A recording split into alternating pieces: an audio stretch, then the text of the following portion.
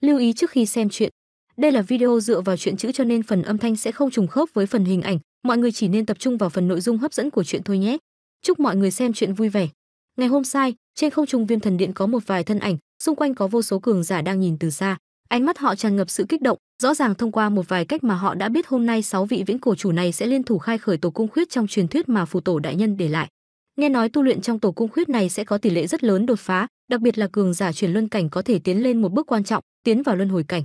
Bản lĩnh gần như khủng bố đó đủ khiến vô số người đỏ mắt, e là cũng chỉ có nhân vật trong truyền thuyết như phù tổ mới để lại được thứ thần kỳ như thế. Trên không trung, mấy người ứng hoan hoan lặng lẽ đứng đó, tuy không có thanh thế kinh người nhưng ai cũng nhận ra cơn sóng ngầm đằng sau sự tĩnh lặng này. Lâm Động đứng cách đó không xa, phía sau là Thanh Trĩ, Thanh Đàn, Ma La, Đường Tâm Lăng cũng nhìn về phía này. Bắt đầu đi. Ứng Hoan Hoan nhìn năm người kia, khẽ nói. Năm người hắc ám chủ cùng nhìn nhau, ánh mắt có chút phức tạp, rồi khẽ gật đầu, nham, Ứng Hoan Hoan vẫy tay. Một đạo bạch quang bay ra từ người Lâm Động, cuối cùng biến thành tổ thạch, bên ngoài là thân hình nham.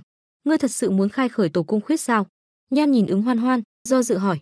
Lúc nào rồi mà còn giả được sao? Ứng Hoan Hoan bình thản nói.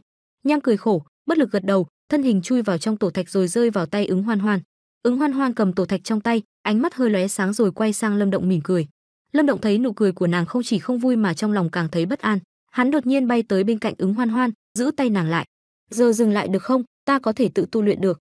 Ứng hoan hoan cụp mắt. Tổ cung khuyết là bảo bối sư phụ để lại trợ giúp chúng ta đối phó dị ma.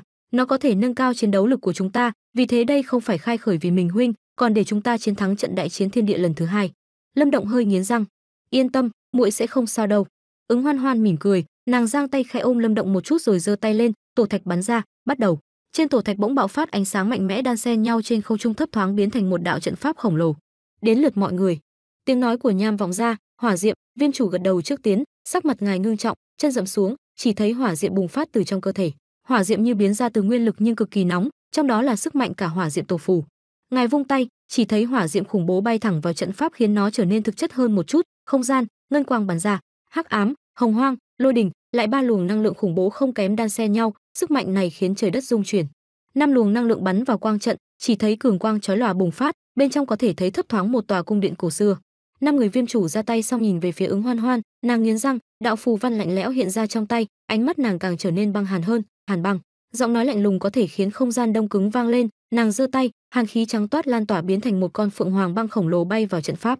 Năm đạo năng lượng trong trận pháp bị con phượng hoàng băng đẩy lui một chút, nhưng rồi rất nhanh sáu luồng năng lượng được sáu người khống chế, hòa vào nhau và nhập vào trận pháp. Uỳnh, chỉ thấy trận pháp khổng lồ rung lên dữ dội, ánh sáng bắn ra từ phía, tòa cung điện cổ xưa kia cũng càng ngày càng rõ sáu người ứng hoan hoan duy trì nguồn năng lượng đó khiến nguyên lực trong không gian cũng sục sôi, ngưng, đột nhiên sáu người ánh mắt ngưng động, tay kết ấn pháp. Một luồng năng lượng kỳ lạ lan ra, uỳnh uỳnh, chỉ thấy trận pháp rung chuyển, ánh sáng dần tan đi, khói trắng bốc lên, tòa cung điện cổ xưa kia hiện ra bên trên trận pháp. Cung điện khá đơn giản, không có gì hào hoa, xa xỉ, xung quanh phủ đầy những phù văn huyền ảo thần bí. Một thứ dao động kỳ dị không thể hình dung lan tỏa mơ hồ như ở nơi tiên cảnh. Đây chính là tổ cung khuyết sao vô số ánh mắt cùng nhiệt nhìn về tòa cung điện trong trận pháp, đó chính là thứ phù tổ đại nhân để lại sao? Bên ngoài cung điện, quang trận bao phủ hình thành một lớp ngăn cách, hiển nhiên không phải ai cũng vào trong được. Tổ cung khuyết, lâm động cũng nhìn, rồi quay sang ứng hoan hoan, tiến lại lo lắng hỏi. Muội không sao chứ? Gương mặt ứng hoan hoan có chút tái trắng, nàng lắc đầu cười với lâm động, tay thu vào trong ống tay áo. Huynh theo muội vào đi.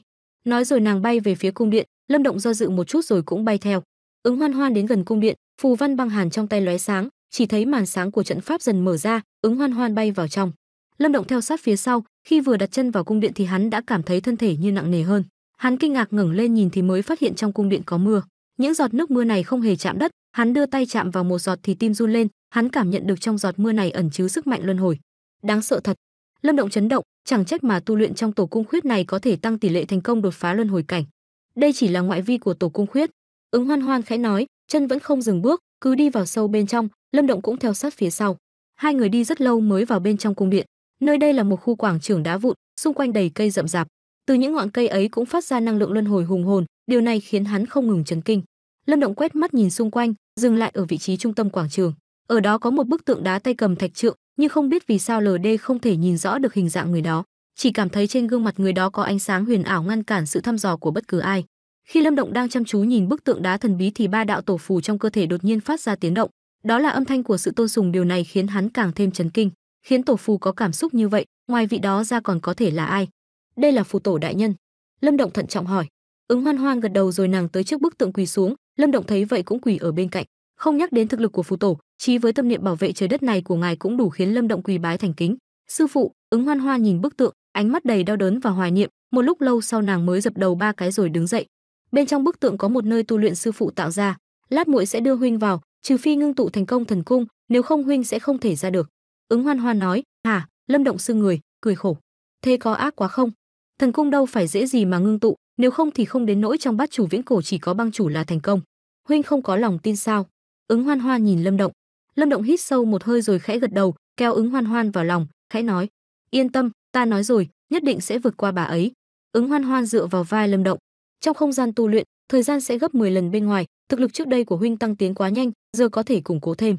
Lâm Động gật đầu, phù tổ đại nhân quả thực thủ đoạn thông thiên, đến việc thay đổi thời gian cũng làm được, vào đi. Ứng Hoan Hoan giơ tay, chỉ thấy bức tượng đột nhiên nhu động, một vòng sáng hiện ra, bên trong là vùng hư không vô tận.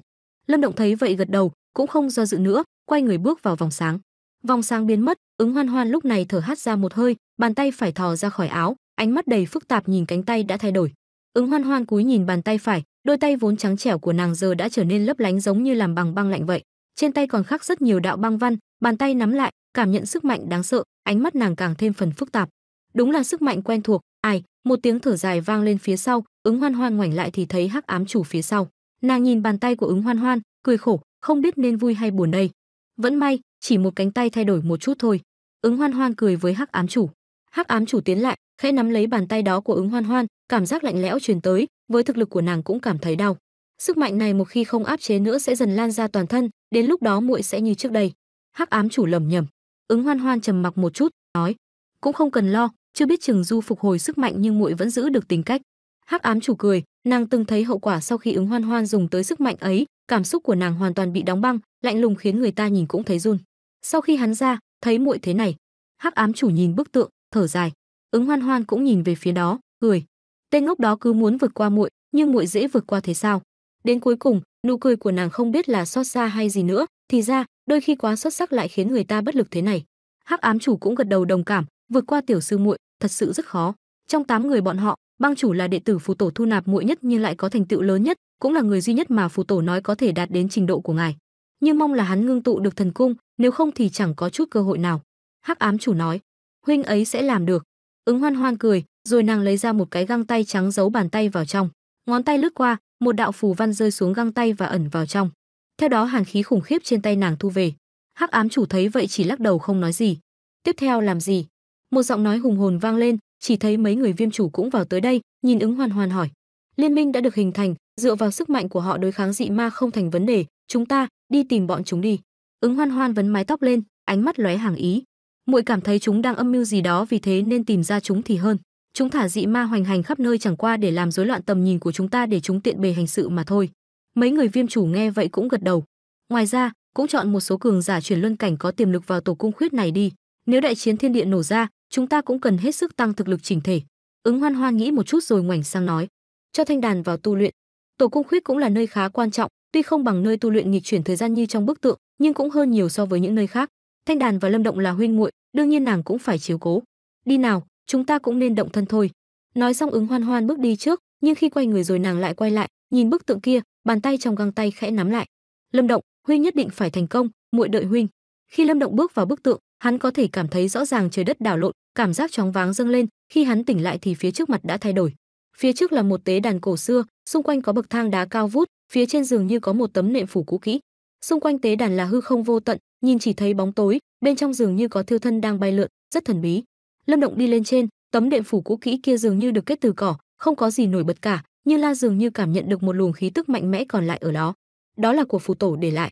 Sắc mặt Lâm Động trịnh trọng, từ cổ chí kim, có được khí tức này, ngoài phù tổ đại nhân ra có lẽ không có người nào nữa. Đây có lẽ là nơi tu luyện trước đây của phù tổ đại nhân. Ở đây tu luyện thần cung sao? Lâm Động gãi đầu, cảm thấy chút áp lực, tuy tinh thần lực của hắn hiện nay là đại phù tông nhưng hắn vẫn hiểu, cảnh giới này và ngưng tụ thần cung vẫn còn xa lắm. Có điều, khó khăn thế nào đi nữa cũng phải hoàn thành. Lâm Động bặm môi, từ sau khi ứng Hoan Hoan khai khởi tổ cung khuyết, hắn mơ hồ cảm nhận được chút gì đó không đúng. Nếu hắn không nhầm thì việc này chắc chắn sẽ gây tổn thương gì đó cho nàng, chỉ là nàng cố tình giấu thôi. Ta biết vượt qua nàng rất khó, nhưng cứ từ bỏ như vậy không phải tính cách của ta. Lâm Động cười, rồi hắn ngồi xuống tấm đệm kia, hai mắt nhắm lại, tâm thần dần chìm vào nê hoàn cung. Việc ngưng tụ thần cung nói đơn giản chính là cải tạo Nê Hoàn cung thành thần cung, chỉ là bước này nhìn từ góc độ nào đó căn bản là không thể. Nê Hoàn cung là vốn có từ khi sinh ra, hơn nữa cũng rất đặc biệt, nó không như đan điền dễ chạm tới. Nê Hoàn cung thông thường ở trạng thái phiêu đãng, có khi nó chỉ là một điểm sáng rất nhỏ, nhưng bên trong lại ẩn chứa tinh khí thần của một người. Đan điền bị phá có lẽ còn sống được, nhưng tinh thần lực bị hủy thì sẽ trở thành người thực vật mất hết ý thức. Khi ngưng tụ thần cung rất có thể sẽ tổn thương tới Nê Hoàn cung, mà tổn thương đến tinh khí thần thì thần cung chưa ngưng tụ bản thân đã thành người thực vật rồi. Từ cổ chí kim có không ít trường hợp như vậy. Đó cũng là lý do rất nhiều cường giả đã là đại phù tông nhưng không dám làm việc này, vì thường là thập tử nhất sinh. Nhưng nỗi sợ hãi đó không thể làm lay chuyển quyết tâm của Lâm Động, sức mạnh luôn đi cùng với rủi ro, nếu không có dũng khí thử thách thì không thể tiến xa được trên con đường tu luyện, huống hồ hắn muốn vượt qua băng chủ. Lâm Động ngồi tĩnh lặng, tâm thần đi vào một thế giới khác, ở đó lôi đình ngưng tụ, cùng phong thổi ảo ạt, băng tuyết đổ như mưa, giống như môi trường thổi hồng hoang vậy. Đây chính là nê hoàng cung của Lâm Động. Tâm thần của hắn lơ lửng trong nê hoàng cung, tinh thần lực ngưng tụ biến thành một đạo tinh thần thể giống hệt hắn. Tinh thần thể của Lâm Động quan sát nê hoàng cung rồi cười, hắn có thể cảm nhận được tinh thần lực hùng hồn ở đây, muốn ngưng tụ thần cung rõ ràng là số tinh thần lực này vẫn thiếu một chút. Trước đây hắn chú trọng nguyên lực, hơi buông lỏng tu luyện tinh thần lực, giờ muốn ngưng tụ thần công đương nhiên phải bổ sung. Việc này cần thời gian không ngắn, nhưng may mắn là giờ hắn cũng khá dồi dào, thời gian trong này chậm hơn 10 lần so với bên ngoài, 10 năm ở đây chỉ bằng một năm bên ngoài. Vì thế hắn có thể dùng khoảng thời gian này tu luyện, vu, tinh thần thể của Lâm Động thở ra một làn khói trắng, rồi cũng ngồi xuống, lôi đỉnh, cùng phong không ngừng ập tới nhưng không hề chạm vào hắn. Trong nê hoàng cung, tinh thần lực hùng hồn đột nhiên ngưng tụ thành từng sợi, rồi giống như bạch long chui vào mũi Lâm Động, một lúc lại chui ra, nhưng khi ra ngoài, tinh thần lực đã ngưng thực hơn trước, còn có ánh sáng tỏa ra. Cùng với sự thôn phệ đó, tinh thần lực tràn tới ngày một nhiều, cuối cùng giống như một đám khói trắng bọc lấy Lâm Động. Lâm Động ngồi yên lặng vững như bàn thạch. Muốn tôi luyện hết tinh thần lực, rõ ràng cần thời gian rất dài, Lâm Động cũng biết điều đó. Hắn loại bỏ hết sự lo lắng trong lòng, tâm cảnh trong suốt, có lúc hắn còn quên vị trí hiện tại, chỉ thôn phệ tinh thần lực theo quán tính rồi tôi luyện. Bên trong nê hoàng cung cuồng bạo, thời gian dần trôi đi, thân ảnh kia vẫn không động đậy gì, quanh người hắn phủ đầy bụi, chớp mắt đã một năm trôi qua. Trong nê hoàng cung, khi Lâm Động mở mắt ra, trời đất cuồng bạo dường như tĩnh lặng lại. Lôi đình đầy trời không biết từ bao giờ đã biến thành vô số đạo lôi hà chảy ngang bầu trời, gió lốc cũng dịu đi, hoa tuyết rơi động lòng người. Cả nê hoàng cung giống như tâm cảnh thanh tịnh của Lâm Động lúc này, yên tĩnh khiến người ta dễ chịu. Lâm Động chăm chú nhìn nê hoàng cung rồi mỉm cười, bụi phủ trên người cũng rơi xuống biến thành hư vô. Đôi mắt hắn trở nên sâu thẳm hơn, có cảm giác khiến người ta chìm đắm trong đó. Hắn chậm chậm giơ tay ra, ngón tay khẽ vẽ lên không trung, một đạo lôi hà hình thành từ tinh thần lực chảy xuống uốn quanh người hắn. Trong dòng lôi hà thậm chí thấy có rất nhiều cá đang bơi lội. Những con cá này đều được hóa ra từ tinh thần lực, nhưng sống động như thật. Hoa tuyết rơi xuống trước mặt Lâm Động thành hình một thân ảnh giống hệt hắn. Người tuyết Lâm Động rung người rồi cười với Lâm Động, đưa bàn tay về phía hắn. Lâm Động cũng đưa tay ra nắm lấy tay hắn, rồi người tuyết tan đi, để lại cảm giác mát lạnh ở tay. Lâm Động cười, lần này hắn bất chi bất giác đã tu luyện gần một năm và thu được lợi ích rất lớn. Tinh thần lực trong Nê Hoàng cung hiện giờ không còn cùng bạo như trước đây nữa mà thay đổi theo tâm niệm của Lâm Động. Hơn nữa tinh thần lực trong Nê Hoàng cung cũng đã ngưng luyện được hơn trước nhiều. Nếu Đại Phù Tông cũng phân chia cảnh giới thì Lâm Động hiện nay có lẽ thuộc tầng thứ cao nhất rồi. Chỉ là dù như thế Lâm Động vẫn không thật sự tự tin tu luyện được thần cung. Đương nhiên, dù có khó khăn thế nào hắn cũng phải có dũng khí để thử. Vù, Lâm Động khẽ thở ra một làn khói trắng, bên trong đó dường như có lôi quang. Rồi mặt đất đột nhiên rung chuyển, nơi hắn ngồi bỗng cao lên, giống như cây cột chống trời phá đất trồi lên vậy, cuối cùng cao chạm tới tầng mây. Vậy là Lâm Động ngồi ở vị trí cao nhất nê hoàng cung, cúi nhìn lôi hà, hoa tuyết và mặt đất, hắn không ra tay ngay mà chỉ lặng lẽ nhìn.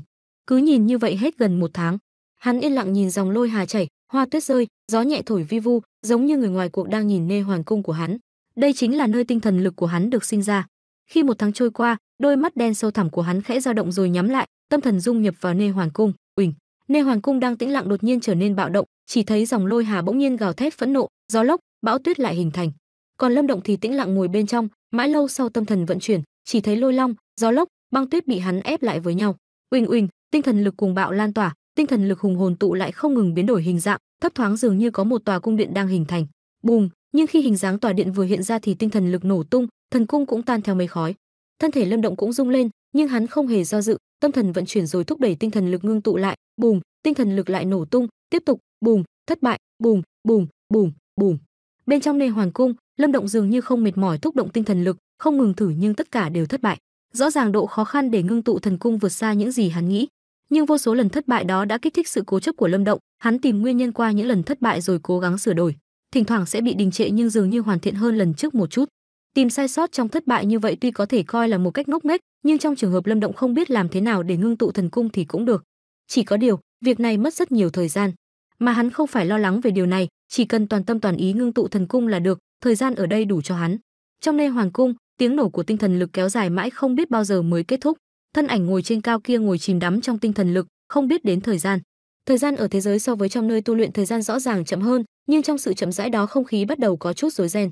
Liên minh loạn ma hải đã thành lập, bọn dị ma cũng bắt đầu bị ngăn chặn. Đại quân trừ ma được lập nên từ những cường giả đỉnh cao của vô số thế lực coi như đã trở thành sức mạnh khủng bố nhất trong loạn ma hải. Sức mạnh ấy trong tay Đường Tâm Lăng được phát huy với uy lực không gì sánh được. Sự hoành hành của dị ma không thể thế như trẻ tre giống trước đây nữa. Hai bên dần đi vào thế rằng co, không ai chiếm được ưu thế tuyệt đối cả. Mấy người ứng hoan hoan thấy cục thế loạn ma hải được duy trì bởi liên minh cũng bắt đầu động thân. Mục tiêu của họ chính là cao tầng của ma ngục, chỉ khi giải quyết được chúng thì mới tránh hoặc kết thúc hoàn toàn trận đại chiến thiên địa lần thứ hai. Nhưng điều khiến họ thấy lạ là, sau lần lộ diện ở loạn ma hải, cao tầng ma ngục đã biến mất hoàn toàn, mặc cho họ điều tra thế nào cũng chẳng tìm thấy dấu vết. Sự yên tĩnh này không hề khiến ứng hoan hoan bọn họ thoải mái chút nào. Họ đã giao đấu rất nhiều với dị ma, biết rõ chúng gian xảo, hung tàn đến mức nào. Chúng không lộ diện chắc chắn đang âm mưu gì đó. Điều này thật sự khiến người ta bất an. Đông Huyền vực, ứng hoan hoan đứng trên đỉnh một ngọn núi đôi mắt màu lam nhìn về phía xa, trong sơn mạch ấy là một tông phái khổng lồ, thấp thoáng có thể thấy vô số thân ảnh. Đó là đạo tông. Từ sau khi rời khỏi loạn ma hải, nàng vẫn cùng viêm chủ bọn tìm kiếm tông tích của dị ma, thời gian trở về đạo tông ít đi rất nhiều. Nàng cũng vì thế mà cảm thấy ái náy, thỉnh thoảng nàng lại nhớ lại nhiều năm trước khi Lâm Động vẫn ở đạo tông, đó là quãng thời gian nàng thấy vui vẻ nhất. Chỉ có điều, dường như hiện nay mọi thứ đã thay đổi, ầm, khi nàng đang nhìn về đạo tông thì không gian phía sau đột nhiên lóe ngân quang, không gian chủ hiện ra, nhìn ứng hoan hoan, trầm giọng nói: "Có chuyện rồi, chuyện gì?" Ứng hoan hoan quay lại. Yêu vực cũng xuất hiện lượng lớn dị ma và ma thi bị chúng khống chế, giờ cả yêu vực đã bị ảnh hưởng. Không gian chủ nói: "Ứng hoan hoan trao mày. Chúng định không ngừng tạo phiền phức để quấy rối chúng ta." Ừm, không gian chủ gật đầu, bất lực nói: "Nhưng chúng ta lại không thể cứ ngồi yên không làm gì." Lúc này yêu vực đành phải làm theo loạn ma hải, tự lắp liên minh chống lại dị ma. Ứng Hoan Hoan trầm ngâm nói: "Ừm, có điều số lượng dị ma dường như lớn hơn một chút, bao năm nay chúng cũng ẩn náu lợi hại vậy sao?" Không gian chủ do dự nói. Ứng Hoan Hoan hơi khựng lại, rồi như nghĩ đến điều gì, sắc mặt hơi thay đổi, "Sao vậy?" Không gian chủ thấy thế vội hỏi. Ứng Hoan Hoan ánh mắt lạnh băng, chậm rãi nói: "Muội nghĩ, có lẽ chúng tìm thấy chấn ma ngục thứ ba rồi." Chấn ma ngục thứ ba? Không gian chủ sắc mặt cũng thay đổi, năm xưa nó được sinh tử chủ trấn áp, nhưng rồi sinh tử chủ bước vào luân hồi khiến địa điểm phong ấn mất đi, đến bọn họ cũng không biết, lẽ nào bị ma ngục tìm thấy rồi. Vậy giờ phải làm thế nào? Không gian chủ cho mày, trong chấn ma ngục thứ ba tuy không có nhân vật lợi hại như đại thiên tà ma vương nhưng số lượng dị ma là lớn nhất. Nếu ma ngục khống chế được thì đó là phiền phức rất lớn. Giờ chưa có tin tức gì của sinh tử chủ, tốt nhất là để tỷ ấy tự tỉnh lại, nếu cưỡng ép thì khó tránh gây tổn thương cho tỷ ấy. Ứng Hoan Hoan khẽ lắc đầu, giải quyết phiền phức ở yêu vực trước rồi chúng ta liên thủ khai khởi thiên nhãn, thăm dò thiên địa. Nghe đến khai khởi thiên nhãn, không gian chủ sắc mặt ngưng động rồi gật đầu. Vậy chúng ta đến yêu vực. Đợi chút đã. Ứng Hoan Hoan do dự, nhìn về hướng bắc, đó là hướng của vương triều đại viêm. Muội đến đại viêm một chuyến, cái đó, mọi người đi theo muội. Nàng chân trừ rồi đỏ mặt nói. Tế đàn cổ xưa đứng lặng lẽ trên hư không, trên đỉnh cao nhất của tế đàn là một thân ảnh gầy gò đang ngồi tĩnh như bàn thạch. Thân thể hắn hơi lành lạnh, thậm chí hơi thở cũng nhẹ gần như không thấy. Nếu không phải thấp thoáng cảm nhận được chút sinh cơ thì e là ai cũng cho rằng hắn chỉ là một cái xác. Khu vực kỳ lạ này không có bất cứ âm thanh nào, tĩnh lặng không một ai biết, không ai đến được. Trên tế đàn, thân ảnh kia đột nhiên khẽ rung lên, đôi mắt chậm chậm mở ra, con mắt đen sâu thẳm như bầu trời đêm, hắn hơi nhíu mày khó hiểu. Vẫn thất bại. Lâm Động lẩm nhẩm, đây có lẽ là năm thứ tư hắn tu luyện ở đây rồi. Trong thời gian này, ngoài năm đầu tiên bắt đầu tôi luyện tinh thần lực ra, ba năm còn lại hắn đều thử ngưng tụ thần cung nhưng tất cả đều thất bại. Tuy hắn không ngừng tìm nguyên nhân, thậm chí việc đó đến nay cũng coi như khá hoàn mỹ, nhưng không biết vì sao thần cung hắn ngưng tụ được luôn hư ảo, không khiến Lâm Động có cảm giác đặc biệt đã bước vào tầng thứ nào đó. Tại sao lại thất bại? Tinh thần lực của ta đã ngưng luyện, tại sao không thể ngưng tụ thần cung trong Nê Hoàn cung? Lâm Động cau mày, ánh mắt đầy sự mơ hồ, khó hiểu. Sau khi suy nghĩ mãi không được đầu mối gì hắn chỉ đành thở dài, nhắm mắt chuẩn bị thử lại, hửm, nhưng ngay khi ấy hắn đột nhiên giữ lại, nhìn về phía tấm đá trước mặt. Ở đó có một số dấu vết đan xen nhau, dường như có ai đó tiện tay vẽ lên. Những đường nét ấy rất thô sơn, đơn giản, chỉ có một dấu chấm tròn và vài đường rãnh sâu cắt ngang qua. Lâm Động nhìn lắc đầu thất vọng, rồi nhắm mắt lại, nhưng một lúc sau hắn bỗng mở mắt, lại nhìn về những dấu vết kia, ánh mắt có chút ngạc nhiên. Dấu tròn kia nhìn có phần giống Nê Hoàn cung, những vết rạch ngang qua kia phá vỡ nó, lẽ nào ý nói thần cung không phải được cải tạo từ Nê Hoàn cung mà phải phá hủy hoàn toàn rồi làm lại từ đầu. Tim Lâm Động bỗng đập thình thịch, phá hủy Nê hoàng cung trước. Đùa gì vậy, Nê hoàng cung có từ khi sinh ra, khi phá nó rồi sẽ khiến tinh khí thần thoát đi mất, hậu quả đó hắn không gánh nổi. Vạn nhất khi Nê hoàng cung bị phá rồi hắn lại không ngưng tụ được thần cung, không chỉ tu vi tinh thần lực không còn gì mà còn tổn hại đến thần trí, hắn trở thành một kẻ ngơ ngẩn cũng không phải không thể. Cái ra đó khiến Lâm Động cũng phải chần chừ, nhưng mơ hồ hắn cũng cảm thấy đây đúng là con đường chân chính để tới thần cung. Phá hay không? Trong lòng hắn có chút rằng xé, một lúc lâu sau hắn khẽ hít vào một hơi tay nắm chặt lại đôi mắt lóe lên vẻ kiên định nếu không có nghị lực sao có thể có năng lực, càng không thể vượt qua băng chủ được. Hạ Song quyết tâm lâm động không do dự nữa, mắt nhắm lại, tâm thần đi đến trước nê hoàn cung. Nê hoàn cung lúc này giống như một chấm sáng nhỏ nhẹ nhàng phiêu đãng, tỏa ra tinh thần lực hùng hồn. Lâm động chăm chú nhìn chấm sáng ấy, tâm thần khẽ động, tinh thần lực trong nê hoàn cung nhanh chóng thu lại, nháy mắt tất cả tinh thần lực đã ở trong nê hoàn cung. Quả cầu tinh thần lực to cỡ đầu người, bề mặt sáng óng như gương, sức mạnh tỏa ra từ nó khiến cường giả vượt qua hai tầng luân hồi kiếp cũng run rẩy. Khi thu nhỏ đến cực hạn quả cầu tinh thần lực đột nhiên rung lên dữ dội, bề mặt bắt đầu giãn nứt, vô số tia sáng mang tính hủy diệt bắn ra. Khi ánh sáng mạnh đến cực điểm, nó giống như vầng mặt trời bay lên từ nê hoàn cung.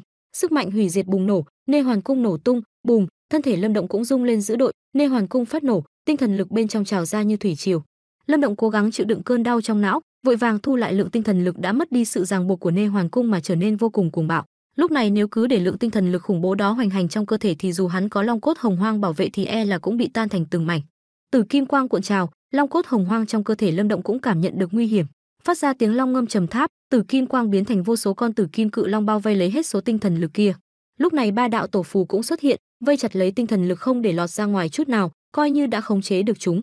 Lâm động chăm chú quan sát thần cung đã thành hình, trong lòng không khỏi mừng rỡ, tâm thần khẽ động, tinh thần lực hùng hồn tràn vào thần cung thế nhưng ngay sau khi tinh thần lực tràn vào, thì hắn phát hiện tinh thần lực trong tứ tượng cung không hề có dấu hiệu đi vào ổn định. Trong nê hoàng cung trước đây, chỉ cần tinh thần lực vào bên trong là như chim về tổ, tự sẽ có cảm giác yên bình, thế nhưng cảm giác đó hiện giờ không hề có. Rõ ràng thần cung chưa thể thay thế tác dụng của nê hoàng cung. Như vậy lâm động bắt buộc phải gắng sức kiềm chế chỗ tinh thần lực này thể chúng không tan biến. Nhưng nếu vậy hắn sẽ không bao giờ có khả năng phân tâm làm việc khác, cũng có nghĩa là hắn bị tinh thần lực của chính mình trói chân. Lâm động toát mồ hôi lạnh nhìn thần cung, rốt cuộc thần cung còn thiếu điều gì? Tại sao thần cung ngưng tụ ra không thể thay thế nê hoàn cung? Lâm động nghĩ, hắn cảm thấy thần cung dường như thiếu thứ gì đó, nhưng không thể biết được rốt cuộc nó là gì. Thời gian dần trôi đi, lâm động vẫn không có chút manh mối nào, tâm trạng không khỏi xuống dốc, cục diện này lẽ không thể phá vỡ sao? Trên tế đàn, lâm động nhắm chặt mắt, toàn thân là mồ hôi lạnh, mồ hôi nhỏ xuống tấm nệm cũ kỹ, thấp thoáng như có ánh sáng lóe lên. Vào khoảnh khắc ấy, trong tim lâm động dường như vang lên một giọng nói cổ xưa, thái thượng. Toàn thân lâm động đột nhiên cứng lại, nhưng hắn không kịp suy nghĩ thì một đạo linh quang lóe qua não thái thượng cảm ứng quyết. Thiếu thứ sức mạnh ấy sao? Lâm động không chút do dự, nhanh chóng chìm vào thái thượng cảm ứng, ý thức phiêu đãng một lúc lâu, những tia sáng hỗn độn bắn ra. Ánh sáng hỗn độn bắn vào thần cung phát ra âm thanh trong trẻo. Vào khoảnh khắc ấy, thần cung như một thứ đồ vật bỗng nhiên có sinh mệnh, bề mặt tỏa sáng, lan tỏa một thứ sức sống kỳ lạ, uỳnh uỳnh, tinh thần lực hùng hồn trào dâng trong thần cung, thấp thoáng như dần hình thành sự tuần hoàn sơ bộ. Hơn nữa lâm động có thể cảm nhận khi thần cung thành hình nó cũng thiết lập một mối quan hệ huyền diệu với thái thượng thần bí, vô số tia sáng hỗn độn không ngừng trào lên tinh thần lực cuồn cuộn, ánh sáng hỗn độn bắt đầu xâm nhập vào tinh thần lực, rồi lâm động cảm nhận được tinh thần lực có sự thay đổi đáng kể. Đó là sự thay ra đổi thịt thật sự. Lâm động đã có cảm ngộ, tâm thần dần bình tĩnh, hắn lặng lẽ giữ vững thần cung, mặc cho tinh thần lực cuộn trào bên trong. Hắn có thể cảm nhận được, đến khi tinh thần lực hoàn toàn lột xác thì có lẽ thần cung sẽ thực sự thay thế được nê hoàn cung. Chỉ có điều, dường như cần thời gian rất dài, nhưng cũng may hiện tại hắn không thiếu thời gian. Hắn chỉ cần chờ đợi ngày niết bàn mà thôi. Thời gian thấm thoát thoi đưa bất trí bất giác thế giới bên ngoài khu tu luyện đã một năm đi qua. Trong một năm này có quá nhiều đại sự đã diễn ra, đầu tiên là sự rối loạn ở loạn ma hải, đến khi liên minh được hình thành thì từ yêu vực cũng có tin bị dị ma tấn công. Ban đầu, một vài thế lực muốn tự mình giải quyết dị ma, nhưng đáng tiếc những nơi chúng đi qua, xác chất thành núi, máu chảy thành sông, bất cứ ai ngăn cản đều bị chúng tiêu diệt. Máu tươi dường như nhuốm đỏ cả bầu trời yêu vực. Khi mọi thế lực ở khu vực phía tây bắc của yêu vực bị tiêu diệt thì yêu vực bắt đầu run rẩy, các chủng tộc và thế lực lớn bắt đầu hiểu ra đối thủ họ phải đối mặt khủng bố đến mức nào sự sợ hãi lan tràn khắp nơi, họ bắt đầu hiểu rằng trên thế gian không có bất cứ thế lực đơn độc nào có thể chống lại ma ngục, dù là những bá tộc của yêu vực. Nhưng cũng may, viễn cổ chủ đã đến kịp thời và tứ đại bá tộc, bát đại vương tộc dưới ảnh hưởng của các viễn cổ chủ đã lập nên liên minh yêu vực. Liên minh yêu vực vừa hình thành thì vô số thế lực trong yêu vực tới, lúc này nếu không đoàn kết thì chỉ còn đường chết.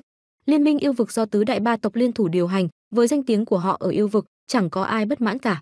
Nhưng trong liên minh yêu vực rõ ràng không có người có khả năng thống soái hoàn hảo như đường tâm lăng tứ đại bá tộc đều tâm cao khí ngạo, không muốn chịu thua trước đối phương nên trong liên minh có sự tranh chấp quyền lợi. Đó cũng là nguyên nhân khiến thắng đầu tiên sau khi hình thành, liên minh vẫn bị dị ma đẩy lùi. Tình hình này khiến các viễn cổ chủ rất giận dữ, gọi tứ đại bá tộc đến và quát mắng kèm trấn áp. Tứ đại bá tộc buộc phải chọn ra người có thể chỉ huy liên minh, chọn đi chọn lại cuối cùng là thiên yêu điêu tộc. Mà tộc trưởng thiên yêu điêu lại để trọng trách này cho tiểu điêu, điều lạ lùng là các viễn cổ chủ không hề dị nghị gì với lựa chọn này. Vậy là tiểu viêm đã trở thành minh chủ của liên minh yêu vực. Tranh chấp trong nội bộ liên minh đã được dẹp bỏ cuối cùng cũng dùng được toàn bộ sức mạnh của liên minh tiểu điêu cũng thể hiện khả năng tuy không thể nhanh chóng chặn đứng bước đi của dị ma như đường tâm lăng chỉ huy liên minh loạn ma hải nhưng ít nhất yêu vực đã ở thế ngang ngửa với dị ma sự rằng co đó kéo dài khoảng nửa năm cuối cùng vì một số chuyện bất ngờ khiến thực lực yêu vực tăng mạnh. Một là một số siêu cấp cường giả vào tổ cung khuyết tu luyện đã đột phá luân hồi cảnh thành công. Thứ hai chính là yêu vực đột nhiên xuất hiện bá tộc thứ năm. Bá tộc này là Cửu Vĩ tộc, từng là một trong các bá tộc nhưng sau đó dần lụi tàn. Nhưng không ai ngờ, Cửu Vĩ tộc đã mất tích nhiều năm trước lại xuất hiện trở lại. Hơn nữa họ cũng thể hiện thực lực khiến cả yêu vực chấn kinh. Tộc trưởng Cửu Vĩ tộc là một thiếu nữ xinh đẹp, nhưng thực lực của nàng lại khủng khiếp đến mức cường giả luân hồi cảnh cũng phải thấy sợ. Vì thiếu nữ ấy không chỉ bước vào luân hồi cảnh mà còn vượt qua một tầng luân hồi kiếp. Ngoài ra, thực lực chỉnh thể của Cửu Vĩ tộc so với các bá tộc khác cũng không yếu hơn bao nhiêu, như thế sao có thể không khiến các thế lực khác chấn kinh. Sau khi Cửu Vĩ tộc xuất thế, Liên minh yêu vực nhanh chóng liên hệ với họ, thống soái trừ ma của Liên minh yêu vực là Lâm Viêm ra mặt không bao lâu, Cửu Vĩ tộc đã đồng ý gia nhập liên minh. Hơn nữa họ cũng không có ý tranh giành quyền lợi, cũng không phản đối Tiểu Điêu thống soái. Việc này đã tăng mạnh thực lực cho liên minh yêu vực, cuối cùng liên minh cũng chiếm được một chút ưu thế so với đội quân dị ma đang hoành hành. Có điều, hiển nhiên là cao tầng của ma ngục không muốn thế gian này yên bình, cục thế yêu vực bình ổn thì tứ đại huyền vực bắt đầu bị dị ma ngó tới. Có hai lần kinh nghiệm trước, lần này ma ngục ra tay nhanh hơn hẳn, thậm chí không đợi mọi người sực tỉnh thì Tây Huyền vực đã bị huyết tẩy gần nửa. Tình hình thê thảm đó nhanh chóng lan truyền, viễn cổ chủ tới và chặn đứng bước đi của dị ma, rồi nhanh chóng lệnh cho tứ đại huyền vực thành lập liên minh. Liên minh lần này được hoàn thành rất nhanh chóng. Công sức của Hắc Ám Điện là lớn nhất, do đó không nghi ngờ gì minh chủ liên minh tứ đại huyền vực là Thanh Đàn. Sau khi ra khỏi tổ cung khuyết, Thanh Đàn cũng đã chính thức trở thành luân hồi cảnh, dựa vào Hắc Ám Tổ phù và Hắc Ám Thánh Liềm là nàng có thể chiến đấu với cường giả vượt qua hai lần luân hồi kiếp. Trong tứ đại huyền vực không một ai có thể tranh vị trí này với nàng.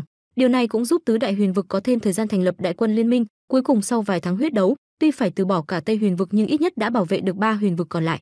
Đến lúc này đã có ba đại liên minh chính thức hình thành chấn thủ loạn ma hải, yêu vực và tứ huyền vực. Trước áp lực tàn khốc từ ma ngục, vô số thế lực, tông phái, chủng tộc đã hội tụ lại, sức mạnh chỉnh thế cuối cùng cũng ngưng tụ. Họ biết rằng, nếu không trừ bỏ ma ngục thì vô số sinh linh trên thế gian này sẽ chẳng có kết cục gì tốt đẹp. Ba đại liên minh hình thành, cuối cùng đã dần dần ổn định được cục thế, sự hoành hành của ma ngục cũng bị chặn đứng, ứng hoan hoan và những viễn cổ chủ khác cuối cùng cũng rút ra được. Đông Huyền vực, ứng hoan hoan, viêm chủ và hắc ám chủ bọn họ xuất hiện trên bầu trời bên ngoài đạo tông. Ứng hoan hoan nhìn xung quanh rồi nói, muội định mở thiên nhãn một lần nữa. Giọng nói của nàng vang lên cũng khiến không khí như muốn kết thành băng. Dường như nhận ra điều đó, nàng nhíu mày, cúi xuống, chỉ thấy hai cánh tay nàng đều đã đeo găng, từ trong găng tay tỏa ra thứ hàn khí kinh người. Năm người hắc ám chủ nghe thế khựng một chút rồi nói, không phải chúng ta từng mở một lần rồi sao? Một tháng trước họ đã mở thiên nhãn để tìm cao tầng của ma ngục nhưng cuối cùng thất bại, rõ ràng chúng đã có chuẩn bị. Lần này không cần mọi người ra tay. Ứng Hoan Hoan lắc đầu, rồi nhìn lên đỉnh núi phía xa. Ở đó là một thân ảnh mảnh khảnh, mặc bộ y phục trắng, dung nhan tuyệt mỹ, khí chất lạnh lùng, chính là Lăng Thanh Trúc. Nàng nhận thấy ánh mắt của Ứng Hoan Hoan, thân hình khẽ động rồi bay tới. Đó là ai? Mấy người không gian chủ ngạc nhiên nhìn Lăng Thanh Trúc, thực lực của nàng dường như không đặc biệt mạnh, nhưng không hiểu sao họ lại có cảm giác quen thuộc từ nàng. Tình địch của tiểu sư muội. Hắc ám chủ ngoảnh sang hạ giọng nói. Nghe thế, sắc mặt của mấy người không gian chủ trở nên cổ quái. Tỷ ấy đã cảm ứng được thái thượng, hơn nữa mức độ có lẽ hơn mọi người. Muội liên thủ với tỷ ấy chắc sẽ tìm được chúng. Ứng Hoan Hoan nói, cái gì? Sắc mặt mấy người biến đổi, ánh mắt chấn kinh nhìn về Lăng Thanh Trúc. Ngoài họ ra còn có người khác cảm ứng được thái thượng sao? Chúng ta cùng ra tay thôi. Ứng Hoan Hoan tiến lại gần Lăng Thanh Trúc, giọng nói lạnh lùng khiến Lăng Thanh Trúc khựng người. Muội thay đổi nhiều quá. Trực giác của nữ nhân luôn nhạy bén đến đáng sợ. Thân thể Ứng Hoan Hoan hơi cứng lại. Hắn có biết không? Lăng Thanh Trúc lại nói. Ứng Hoan Hoan lắc đầu. Lăng Thanh Trúc trầm mặc. Động thủ đi, chúng ta phải tìm được Thiên Vương Điện trước khi hắn hồi phục hoàn toàn, như vậy mới ngăn chặn được kiếp nạn. Ứng Hoan Hoan thở dài. Lăng Thanh Trúc gật đầu, rồi hai người ngồi trên không, nhắm mắt lại, sức mạnh quanh người thu về, thậm chí đến gió cũng ngừng thổi. Hai người ngồi thế khoảng nửa giờ thì mấy người viêm chủ cảm nhận được sắc trời tối lại, ánh sáng hỗn độ xuất hiện từ nơi thần bí và ngưng tụ phía trên hai người. Một luồng áp lực kỳ lạ an tỏa khiến ánh mắt mấy người viêm chủ ngưng trọng, áp lực đó đến từ thái thượng thần bí. Ánh sáng hỗn độn cuối cùng biến thành một con mắt lớn một trượng, bên trong nó phản ánh cảnh sắc của trời đất này. Con mắt hỗn độn vừa xuất hiện thì bắt đầu chuyển hướng như đang thăm dò trời đất này. Cảnh sắc trong con mắt lướt qua nhanh chóng, mấy người viêm chủ cứ lặng lẽ chờ đợi. Khoảng nửa ngày trôi qua, khi mấy người viêm chủ cảm thấy lần này lại thất bại thì con mắt bỗng tỏa ra thứ ánh sáng mãnh liệt, ánh sáng tụ lại trên không trung thành một tấm kính. Trong đó là một vùng hắc ám có dòng chảy màu đen, ở giữa dòng chảy là một cỗ quan tài màu đen. Cảnh tượng chuyển đến phía trên quan tài, xuyên qua ma khí, rồi một thân ảnh xuất hiện. Thân ảnh đó mặc hắc bào, viền áo là những đường hoa văn màu kim. Bộ dạng kẻ đó rất anh tuấn, lúc này hắn nhắm chặt mắt nhưng vẫn có một thứ khí tà ác không thể hình dung lưu chuyển trên gương mặt hắn. Ánh mắt ứng hoan hoan lập tức lạnh băng, tay siết chặt. Thiên Vương Điện, cuối cùng cũng tìm được ngươi. Ánh sáng lan tỏa từ trong con mắt để lộ ra nhân ảnh bên trong quan tài đen. Tuy hắn nhắm mắt nhưng ai cũng có thể cảm nhận được sự sắc bén đến cực điểm. Thiên Vương Điện, mấy người viêm chủ sắc mặt đều hiện sát ý, cuối cùng cũng tìm được hắn rồi. Ứng Hoan Hoa nhìn nam tử mặc hắc y, ánh mắt ngưng động, dường như đôi mắt hắn ta hơi run lên, rồi sau đó chậm chậm mở ra, "Uỳnh." Ngay vào khoảnh khắc ấy, dường như có một thứ tà ác kinh người bùng nổ, nếu người tâm trí không kiên định khi nhìn vào e là sẽ bị đánh mất lý trí. Mấy người ứng hoan hoan lạnh băng nhìn Thiên Vương Điện, hắn ra cũng nhìn về phía họ, dường như hắn cảm nhận được từ xa có người nhìn vậy. Ha ha, là băng chủ sao? Thiên Vương Điện trong quan tài ngồi dậy, hắn cười, thần sắc uể oải. Đúng là có chút thủ đoạn, như vậy mà cũng bị các ngươi tìm ra. Không ai đáp lời hắn, vì có trả lời cũng không nghe được. Thiên Nhãn tìm được Thiên Vương Điện nhưng không thể kết nối hai bên. Thiên Vương Điện lúc này cũng chỉ nói chuyện với hư không, chỉ có điều hắn biết chắc mấy người ứng hoan hoan nhìn thấy. Đã tìm được vị trí của ta thì ta đợi các ngươi. Các ngươi đến rồi ân oán giữa chúng ta cũng nên kết thúc thôi. Thiên Vương Điện cười, có điều, khóe môi hắn nhếch lên, tay đưa về phía mấy người ứng hoan hoan, ánh mắt lóe dị quang. Lần này chắc chắn các ngươi sẽ thua. Hình ảnh rung lên rồi bắt đầu mờ dần, cuối cùng thiên nhãn tan đi biến thành hư vô. Ứng hoan hoan đứng dậy, ánh mắt đầy băng hàn. Có lẽ Thiên Vương Điện đã hồi phục gần hết rồi. Giờ phải làm gì? Viêm chủ trầm giọng nói, Thiên Vương Điện hồi phụ thì chiến đấu lực của ma ngục sẽ lên đến đỉnh điểm, đây rõ ràng không phải tin tốt với họ. Vị trí của chúng có lẽ ở Tây Huyền vực, đó chính là đại bản doanh của chúng. Ứng Hoan Hoan nói, thông báo cho ba liên minh, giải quyết cục diện rằng co với dị ma càng nhanh càng tốt rồi điều động lực lượng sang Tây Huyền vực. Lần này chúng ta phải giải quyết sạch sẽ bọn chúng. Đám dị ma này quá khó đối phó, nếu chỉ như lần trước thì chỉ buộc chúng tiềm phục, e là không thể giải quyết triệt để. Nhưng may mắn lần này họ có một ưu thế rất lớn, đó là họ là chủ nhà, còn dị mà coi như bị giam cầm ở đây, không hề có cứu viện, rồi chúng cũng sẽ thất bại mà thôi. Ừm, sắc mặt mấy người viêm chủ ngưng trọng, gật đầu. Xem ra trận đại chiến này quả nhiên lại bắt đầu rồi, nhưng lần này không thể cho chúng bất cứ cơ hội nào nữa. Chúng ta chuẩn bị chiêu dẫn tế, đến khi đại quân của ba liên minh tế tựu sẽ chiêu hoán đại sư tỷ. Ứng Hoan Hoan nghĩ rồi nói, cưỡng ép chiêu hoán sinh tử sao? Mấy người viêm chủ nhìn Ứng Hoan Hoan, muội có thể thấp thoáng cảm nhận được sức mạnh của đại sư tỷ, có lẽ tỷ ấy sắp thức tỉnh rồi, chiêu hoán cũng không có gì đáng ngại. Ứng Hoan Hoan nói. Mấy người viêm chủ gật gù, do dự một chút rồi nói, nhưng nếu muội thật sự phải giao đấu với Thiên Vương Điện thì e là phải dùng đến toàn bộ sức mạnh. Ứng Hoan Hoan trầm mặc, bàn tay siết chặt lại, nàng ngẩng lên nhìn về phía Loạn Ma Hải, một lúc lâu sau mới nói, muội biết, mọi người yên tâm, cứ giao Thiên Vương Điện cho muội là được, lần này hắn sẽ không có cơ hội thoát đâu. Vừa hay lúc này huynh ấy không ở đây, nhân thời gian này tự tiện hoàn thành những việc này vậy. Nếu không, dưới ánh nhìn của huynh ấy liệu mình có hạ quyết tâm được không? Mấy người viêm chủ nhìn nhau rồi thở dài gật đầu, khi sức mạnh ấy hoàn toàn thức tỉnh thì có lẽ muội ấy sẽ trở lại như thời viễn cổ. Chuẩn bị đi. Ứng Hoan Hoan mệt mỏi khoát tay, mấy người viêm chủ cũng không nói nhiều, bắt đầu đi thông báo cho ba liên minh. Sau khi họ đi rồi, Ứng Hoan Hoan không kìm được cắn môi, ánh mắt chăm chăm về phía Loạn Ma Hải. Tại sao không đợi hắn xuất quan, chúng ta chắc vẫn còn thời gian chứ? Lang Thanh Trúc nhìn Ứng Hoan Hoan hỏi. Ta sợ đến lúc đó không hạ quyết tâm được. Ứng Hoan Hoan mỉm cười. Trước mặt huynh ấy ta không thể giữ được tâm cảnh lạnh như băng, mà trách nhiệm này cũng phải có người gánh vác, huynh ấy rất xuất sắc, nhưng vẫn còn chưa đủ. Trách nhiệm này quá lớn, bắt huynh ấy gánh vác ta cũng thấy đau lòng, vì thế vẫn nên để tự ta đi. Lang Thanh Trúc nhìn ứng hoan hoan, nhưng sợ là hắn không chấp nhận được kết quả đó, muội làm vậy e là một sự trốn tránh. Nhưng thế gian này đâu có nhiều sự lựa chọn. Ứng hoan hoan nói, hơn nữa huynh ấy cứ như người ngốc kiên trì cố chấp mãi, huynh ấy cứ nghĩ rồi có ngày sẽ gánh vác được. Ứng hoan hoan cười chua xót, nhưng thực ra, sao có thể chứ? Lang Thanh Trúc định nói gì thì ứng hoan hoan đã tiến lại gần, mỉm cười. Nếu sau này có biến cố gì hãy chăm sóc huynh ấy giúp ta, được không? Lang Thanh Trúc nhìn gương mặt thiếu nữ phủ chút băng hàn kia, khẽ nói, ta có thể nhận ra nếu muội đánh thức thứ sức mạnh kia thì sẽ thay đổi, nhưng tin ta đi, dù muội như thế, khi đối diện với hắn vẫn có sự khác biệt, có thứ tình cảm không thể đóng băng được bằng sức mạnh thuần túy đâu. Ứng Hoan Hoan khựng người, lẩm bẩm, ta cũng hy vọng thật sự là vậy. Chỉ có điều, đến bản thân muội còn ghét, huynh, liệu có còn thích không? Trên dòng chảy hắc ám, nam tử trong quan tài đứng dậy, khẽ lắc lắc đầu để đẩy hết cảm giác chóng váng đi. Hắn ngẩng lên nhìn chỗ hư không vừa theo dõi mình. Băng chủ sao, đúng là oan gia, không ngờ ngươi lại luân hồi chuyển thế thành công. Uỳnh, dòng chảy hắc ám đột nhiên có tiếng nổ. Một thân ảnh hàng vạn trượng bước ra, tám cánh tay ma khổng lồ thò ra, không gian cũng như biến dạng kịch liệt. Thiên Vương Điện, cuối cùng ngươi cũng hồi phục hoàn toàn rồi. Giọng nói ồm ồm của Đại Thiên Tà Ma Vương vang lên, dòng chảy hắc ám nổi sóng công. Xung quanh, những cột nước đen bắn lên, rồi tám thân ảnh hiện ra trên đỉnh cột nước, nhìn kỹ thì ra là Tam Vương Điện và hai kẻ nắm giữa ma ngục khác. Có lẽ chúng ta bị phát hiện rồi. Trên cột nước ở tận cùng bên phải, một thiếu niên gầy gò khẽ nói, bộ dạng tên này thanh tú, nhìn rất non nớt, nhưng trong mắt hắn là sự nham hiểm khiến người ta lạnh gáy. Đúng vậy, đúng là đã coi thường băng chủ rồi, vốn nghĩ còn thời gian chuẩn bị thêm. Thiên Vương Điện cười nhạt, giờ phải làm gì, khai chiến chính diện với chúng. Tam Vương Điện lên tiếng, yên tâm, chắc chắn chúng sẽ đối phó với dị ma ở bên ngoài trước. Hạ lệnh liều mạng tấn công chỉ cần liên quân của ba liên minh chưa hội tụ đủ hẳn là băng chủ bọn chúng sẽ không dám một mình tới đây. Tam vương điện cho mày. Như vậy thì chết hết nhỉ? Thiên vương điện cười để lộ hàm răng trắng bệch. Đó là vinh hạnh của chúng. Tuy cười nhưng ánh mắt hắn tràn ngập sự vô tình dường như vô số dị ma bị hắn vứt bỏ không hề khiến hắn động lòng chút nào. Lần này, sẽ không kẻ nào có thể cản bước chúng ta nữa. Vị diện này rồi sẽ về tay dị ma tộc chúng ta. Năm đó hoàng không hoàn thành được đại nghiệp thì giờ ta sẽ hoàn thành. Thiên vương điện cười điên cuồng. Băng chủ, ngươi cứ đợi đấy, lần này bọn ta sẽ không thất bại đâu. Thật mong chờ để thấy vẻ mặt tuyệt vọng của các ngươi. Ha ha ha.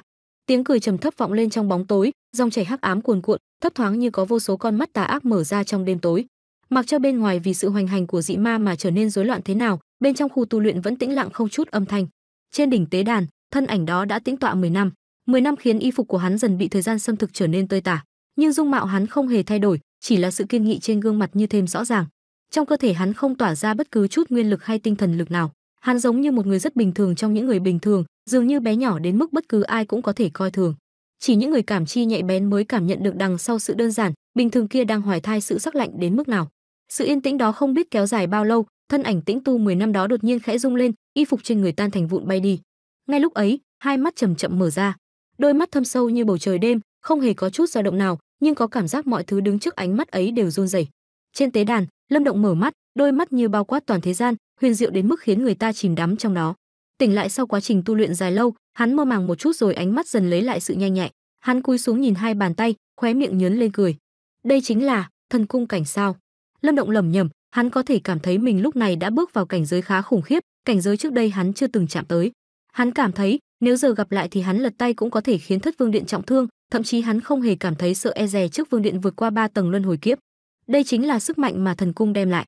Lâm động nhắm mắt, tâm thần khẽ động, rồi trên trán hắn hiện ra tòa thần cung chói lòa. Bên trong là tinh thần lực vô cùng vô tận, tinh thần lực hiện nay đã có ánh hỗn độn. Đó là vì nó dung hợp với sức mạnh thái thượng thần bí, chính sự thay đổi nhỏ bé này đã khiến tinh thần lực như lột xác lâm động chậm rãi đứng dậy, ánh sáng tỏa ra quanh người biến thành một bộ hắc y. Lâm động khẽ nắm tay lại. Trong 10 năm phần lớn thời gian hắn đặt tâm trí vào việc ngưng tụ thần cung nhưng nguyên lực cũng có tăng tiến rõ rệt. Chỉ có điều đến tầng thứ này không còn nghĩ đến việc làm thế nào đột phá nữa mà làm cách để vượt qua luân hồi kiếp đáng sợ. 10 năm, bên ngoài cũng qua một năm rồi nhỉ, không biết tình hình thế nào rồi. Lâm động tự nhủ, sau khi ra khỏi trạng thái tu luyện, trong lòng hắn bỗng lo lắng, dù sao trước khi hắn bế quan tình hình bên ngoài cũng không lạc quan, không biết giờ thế nào.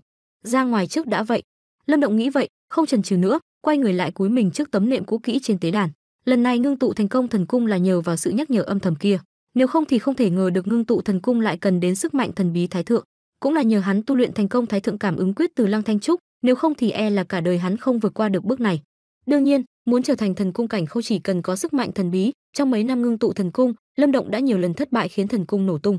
May mắn cuối cùng hắn đã cứu vạn được, nếu không có lẽ giờ đã thất bại rồi. U u, ngay khi lâm động cúi mình thì tấm nệm kia phát ra âm thanh rất nhỏ một luồng ánh sáng kỳ dị hiện ra, phụt, ánh sáng tụ lại trên tấm nệm, mơ hồ biến thành một đạo quang trận huyền ảo cỡ nhỏ.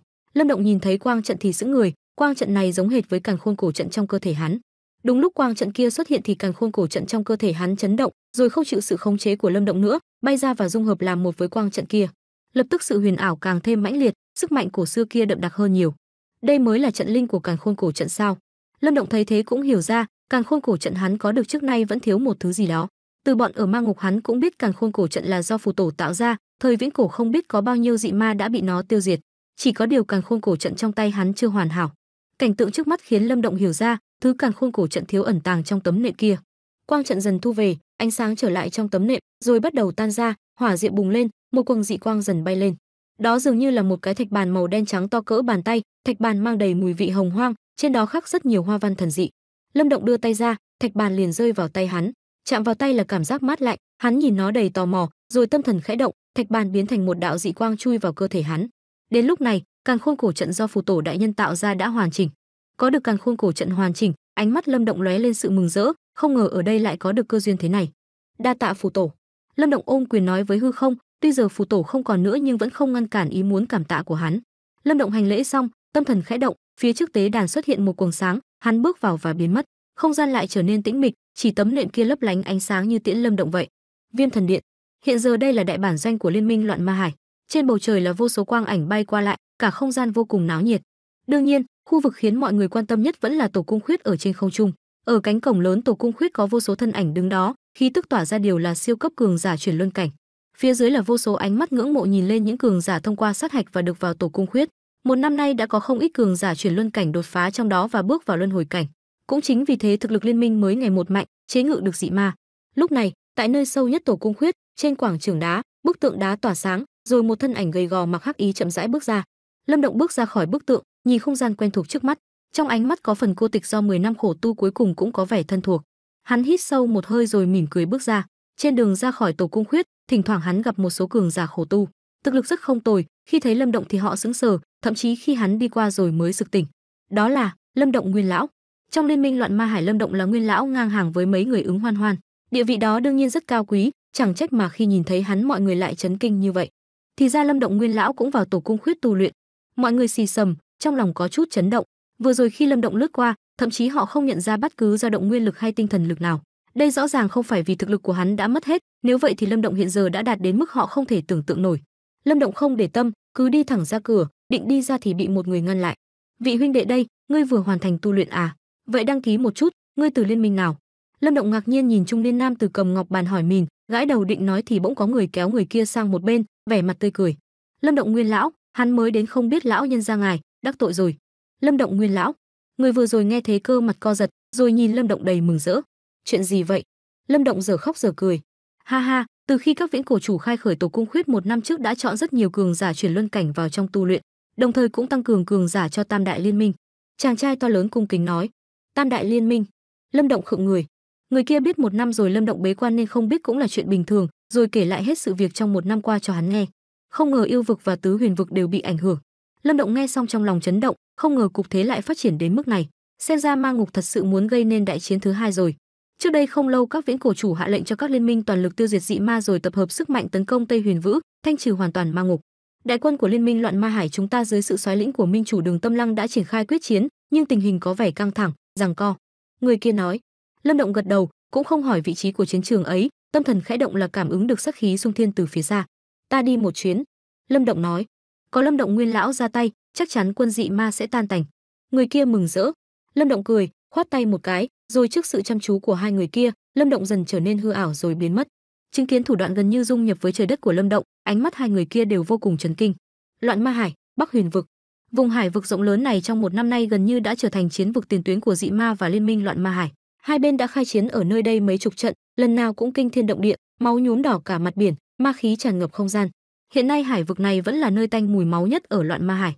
Vì lần này hai bên đã triển khai quyết chiến, Liên minh loạn ma hải để có thể rút được lực lượng ra đã liên hợp với hai liên minh còn lại phản công toàn lực, định sẽ dập tắt chiến tranh ở loạn ma hải. Còn bên ma ngục cũng đã hạ mệnh lệnh tàn khốc nhất, bằng mọi giá chặn đứng liên minh loạn ma hải, uỳnh uỳnh, ma khí cuồn cuộn. Vô số đạo nguyên lực mạnh mẽ bùng nổ, chỉ thấy những quang ảnh không thấy điểm tận cùng đem theo sát khí đậm đặc sông về phía đội quân ma ngục. Hai làn sóng khổng lồ ập về phía sau, tiếng gào thét chém giết vang khắp trời đất, mặt biển nổi những ngọn sóng khổng lồ, âm thanh uỳnh uỳnh đó không át nổi tiếng gào thét của đám người. Phía sau đại quân của liên minh, Đường Tâm Lăng đứng trên không, nàng mặc chiếc áo giáp mềm sát người màu đỏ, tôn lên những đường cong quyến rõ. Ánh mắt nàng đang nhìn chăm chăm về chiến trường, tiếng hô lạnh lùng trong trẻo không ngừng được nguyên lực bao bọc truyền đi chỉ huy đại quân. Minh chủ, đám dị ma lần này như phát điên vậy, tình hình rằng co quá lâu rồi. Bên cạnh Đường Tâm Lăng, một lão giả sắc mặt nặng nề nói. Hàn quang lóe lên trong mắt Đường Tâm Lăng, hạ lệnh lần này bắt buộc phải giải quyết đội quân ma ngục ở loạn ma hải. Đại bản doanh của ma ngục đã lộ đội quân này đột nhiên thể chết phản kháng chắc chắn là nhận được lệnh tư đại bản doanh. Chúng muốn hy sinh đội quân này để giữ chân đại quân của liên minh chúng ta. Trả cái giá lớn như vậy để làm việc này chắc chắn ma ngục đang chuẩn bị âm mưu gì đó chúng ta bắt buộc phải nhanh nhất có thể lão giả kia nghe vậy vội nhận lệnh, tuy lão cũng là cường giả đỉnh cấp ở loạn ma hải, luận vai vế có khi còn cao hơn ma la, nhưng một năm nay kể từ khi đường tâm lăng quản lý liên minh loạn ma hải, cục thế dần nghịch chuyển. Năng lực đó đã được tất cả mọi người công nhận, cả loạn ma hải không một ai là không nghe theo lệnh của nàng. Vô số mệnh lệnh nhanh như chớp truyền khắp đại quân, vô số cường giả ánh mắt đỏ ngầu, một năm nay đã có quá nhiều người chết trong tay ma ngục, mối thù này không thể gột bỏ được. Đã vậy thì phải giết sạch sẽ chúng đi, giết, tiếng gầm thét kinh thiên động địa vang lên, vô số cường giả xông tới như sóng biển nguyên lực hùng hồn đánh tan đám dị ma phía trước. Cả trời đất tràn ngập mùi tanh nồng. Ánh mắt sắc bén của đường tâm lăng quan sát chiến trường, rồi nàng nhìn lên trời, nơi diễn ra trận chiến cấp cao của hai bên. Tuy số lượng người không nhiều nhưng sẽ gây ảnh hưởng cực lớn với kết quả trận chiến. Trên đó ai cũng là cường giả luân hồi cảnh, đối thủ của họ cũng đều là dị ma cấp dị ma tướng, trong đó thậm chí còn có cấp chân vương. Nhưng cũng may những kẻ đó đều đã bị cường giả đỉnh cấp của liên minh chặn đứng. Không biết chỗ thanh trĩ tiền bối có chặn được không? Đường tâm lăng siết tay nhìn về phía trên cùng ở đó tỏa ra năng lượng khủng khiếp trong tầng mây là một thân ảnh mặc thanh y đối diện là một dị ma khổng lồ to cỡ vạn trượng bộ dạng con dị ma này vô cùng hung hãn trên thân thể khổng lồ có tới mười mấy con mắt tỏa ra sự hung tàn đến cực điểm con dị ma xấu xí này được dung hợp từ 10 chân vương Kiểu dung hợp này khiến dị ma mới được sinh ra có thực lực cực kỳ khủng khiếp, thậm chí có thể sánh ngang cường giả vượt qua hai tầng luân hồi kiếp. Đối tượng này trong liên minh loạn ma hải cũng chỉ có Thanh Trĩ là ngăn chặn được. ào sắc mặt Thanh Trĩ vô cùng ngưng trọng, trong cơ thể có thanh quang trào ra rồi thân thể nhanh chóng phình to lên. Y phục rách tan, chỉ mấy giây thanh trĩ đã biến thành một long nhân khổng lồ to nghìn trượng. Toàn thân phủ đầy lớp vảy xanh tỏa ra thứ ánh sáng sắc lạnh. Trên cánh tay nhô lên những sợi gân xanh, hàng vạn con thanh long uốn lượn quanh người. Thanh Thiên Hóa Long Quyết là do Thanh Trĩ tạo ra, võ học này được ngài thi triển ra, mức độ mạnh mẽ của nó khiến bất cứ ai cũng phải kinh thán. Gào, Thanh Trĩ đứng trên không, không gian vỡ vụn, ngài biến thành một đạo thanh quang xông thẳng tới con cự ma kia. Long quyền tung ra, mấy vạn đạo long văn ập tới, nhanh như chớp rơi lên người cự ma. Binh binh binh. Đối mặt với công thế hung tàn đó của Thanh Trĩ, cự ma gầm lên, ma trưởng sắc lạnh tung thẳng về phía Thanh Trĩ. Hai đại vật khổng lồ quấn lấy nhau trên không trung, chiêu thức không thật tinh diệu, có chăng chỉ là sức mạnh khủng bố đủ để khiến không gian nổ tung. Tiếng quyền đấm lên cơ thể trầm đục thậm chí át hết âm thanh sát phạt phập long chảo sắc bén của thanh trĩ rạch lên người cự ma. Một mảng thịt đen bị kéo ra hắc quang bắn ra cự ma gầm lên một quyền đánh lên người thanh trĩ. Sức mạnh ấy thậm chí khiến vảy trên người thanh trĩ cũng vỡ tan bản thân ngài bị đánh bật ra sau mấy nghìn trượng phụt tia máu tràn lên trong mắt thanh trĩ lưng rung lên, đôi cánh thanh long khổng lồ dang rộng, long rực vỗ mạnh, thanh chỉ lao tới như vút về phía cự ma. Đường tâm lăng nhìn trận chiến ác liệt đó ánh mắt ngưng động, hô vang. Đội ba động thủ. Chỉ thấy từ xa phía sau đột nhiên bùng lên sát ý linh thiên, vô vàn những nhân ảnh tràn lên tách đôi đội quân dị ma. Đội quân bất ngờ này khiến tinh thần của đại quân liên minh lên cao hẳn, nhất thời dần chiếm được ưu thế ảo đội quân dị ma dường như cũng cảm nhận được có chút không ổn, đột nhiên tiếng gầm thét linh thiên động địa điên cuồng vang lên. Vút phút phút tiếng gầm thét lan tỏa chỉ thấy đám dị ma kia đột nhiên nổ tung rồi biến thành vô số đạo huyết quang màu đen chui vào cơ thể cự ma đang giằng co với thanh trĩ. Ảo! Đột nhiên nhận được sức mạnh khủng khiếp đó, thân thể cự ma lại phình to lên, bề mặt nhục thể xuất hiện vô số vệt máu, rõ ràng là có chút không chịu nổi sức mạnh này. Binh, cự ma gầm lên, tung một quyền hung hăng đánh lên người thanh trĩ khiến ngài bay đi, lớp vảy trên người vỡ tan, máu tươi tuôn ra. Rõ ràng đội quân dị ma bắt đầu phát điên, dung hợp ra nhiều cự ma như vậy, thực lực đã gần như bằng cường giả vượt qua ba tầng luân hồi kiếp. Nhưng đó cũng đã là cực hạn nếu dung hợp thêm nữa thì e là cự ma không chịu nổi mà phát nổ. Hơn nữa, chúng có vượt qua được trận chiến này thì cũng không thể sống được nữa. Chúng hoàn toàn đã dùng tính mạng để chặn bước đại quân loạn ma hải. Ảo thanh trĩ thấy thế, sát ý trào dâng trong mắt, miệng gầm lên, thanh quang trào dâng, mấy chục vạn đạo long văn biến thành một con thanh long vạn trượng, xông thẳng tới cự ma. Lúc này căn bản không thể rút lui được nữa. Một khi rút lui, cự ma sẽ xông vào đại quân liên minh, tỷ lệ tử thương sẽ càng thê thảm hơn. Gào cự ma cũng gào lên, nó nhìn thanh trĩ chỉ thấy có vô số máu tươi màu đen hội tụ bùng một tiếng biến thành một đạo ánh sáng, rồi nhanh như chớp oanh kích lên người thanh trĩ. Bùng, lớp vảy vỡ tan, thân thể thanh trĩ bay ngược ra sau trước bao ánh mắt kinh hãi của đội quân liên minh. Nơi vai ngài xuất hiện một cái lỗ máu khổng lồ. Đi chết đi. Tiếng gào thét vọng ra từ miệng cự ma ma trưởng sắc bén hung hăng đánh xuống thanh trĩ, dường như muốn giết thanh trĩ vậy. Trợ giúp, cường giả đỉnh cấp trong liên minh cũng cùng gầm lên, nguyên lực hùng hồn đánh ra định để chặn cự ma.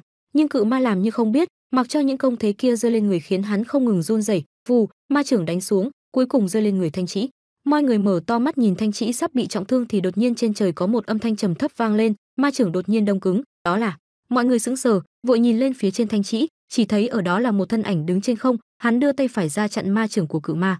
Thể tích hai bên hoàn toàn trái ngược, thế nhưng dưới bàn tay mỏng manh của hắn, cự ma lại không thể tiến được nửa bước.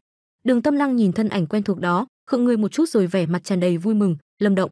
Bên dưới ma trưởng khổng lồ là một thân ảnh dường như rất mỏng manh nhưng chống lại được cả cái ma trưởng mang sức mạnh khủng khiếp kia. Đó là lâm động nguyên lão. Đại quân liên minh loạn ma hải bùng nổ tiếng hô vang trời. Từ một năm trước khi liên minh được thành lập, lâm động đã biến mất tâm nghe nói là bế quan tu luyện, không ngờ lại xuất hiện đúng lúc quan trọng. Cuối cùng hắn cũng đến kịp thời. Đường tâm lăng vui mừng, nay ở đâu cũng là chiến trường, nhưng nhìn chung ở cả ba chiến trường chính hai bên đều không có cường giả mạnh nhất. Vì những kẻ lợi hại nhất ma ngục đều bị viễn cổ chủ bọn họ giữ chân ở tây huyền vực, nhưng cũng vì thế bọn họ không thể trợ giúp được gì cho những nơi khác. Lúc này sự xuất hiện của lâm động đúng là có tác dụng cực quan trọng. Thanh trĩ tiền bối không sao chứ? Lâm động quay lại nhìn thanh trĩ phía sau, hỏi, thanh quang trên người thanh trĩ tỏa sáng rồi thân hình dần trở lại hình người, ngài quệt máu nơi khóe miệng đi. Nhìn lâm động cười khổ, xuất quan rồi đấy à? Lâm động gật đầu, cười, cứ giao tên to xác này cho vãn bối. Thanh trĩ cũng không có ý kiến gì, lâm động hiện này cơ hồ không có bất cứ sức mạnh nào tỏa ra, nhưng ngài thấp thoáng có thể cảm nhận được một luồng khí tức vô cùng nguy hiểm. Rõ ràng trong một năm bế quan thực lực lâm động đã đạt đến mức khiến ngài cũng không thấu sự thay đổi này khiến ngài có phần cảm thán, nhớ năm xưa khi lần đầu gặp lâm động, hắn ta mới chỉ là một thiếu niên nổi bật lên từ bách triều đại chiến nhỏ bé. Hồi đó ngài thấy hắn có chút thiên phú mới dạy thanh thiên hóa long quyết cho. Không ngờ nhiều năm sau thiếu niên ấy đã vượt qua ngài rồi.